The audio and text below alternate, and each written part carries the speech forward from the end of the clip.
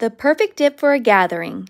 Two 8-ounce packages of cream cheese, one package of ranch, a third cup of shredded cheddar cheese, a fourth a cup of beer. Blend it all together, shape it into a ball, and refrigerate for one hour. Enjoy!